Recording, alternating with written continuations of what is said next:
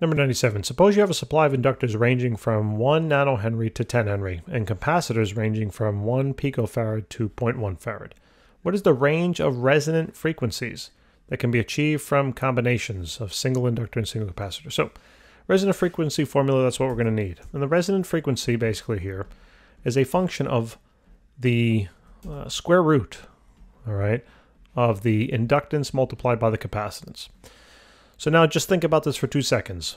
The max frequency, the max frequency would work out to be when this term in the denominator is at a minimum, right? When this term, because that's the term that can change. Obviously, we're not changing the value of 2 or pi.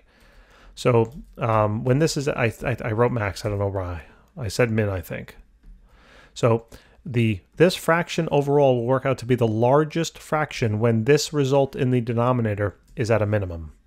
In other words, the resonant maximum res resonant frequency results from the lowest combination of these two when they're multiplied together. So basically what I'm going to do is then that means that each of these two terms on in there should be a minimum, right? They should both be a minimum, okay? So what I'm going to do is I'm basically now going to um,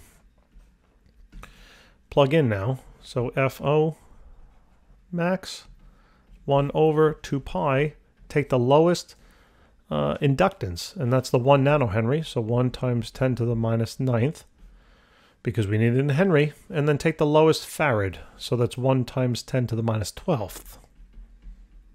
All right, and plug it on in. And this will correlate to the max, okay? So there's then 1 divided by now, parenthesis 2 pi, times n square root of 1 times 10 to the minus ninth times 1 times 10 to the minus 12th and we get a value here of about 5.03 times, uh, didn't convert to scientific watt, so this is 3, 6, I guess 9, right? So about 5 billion uh, hertz. And there you go. So that's the max.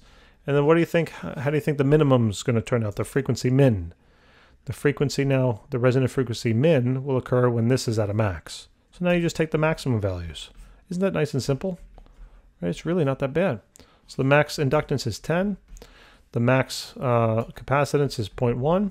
They're already in the right unit, so that's why I didn't have to do any conversions. And let's see what we get. 1 divided by now, parenthesis.